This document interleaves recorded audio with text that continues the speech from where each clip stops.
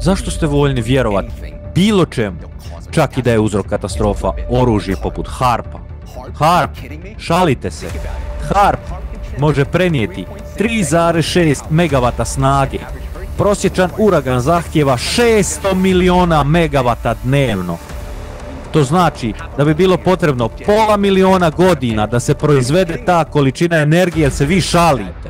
Prema našim proračunima, za pokretanje zemljotresa dubokog fokusa potrebne su hiljade nuklearnih bombi. Hiljade i morale bi da se detoniraju na dubinama od 300 do 800 km unutar zemljenog omotača, dok mi ljudi imamo sposobnost da prodremo do 12 km dubine. 800 km naprama 12 km.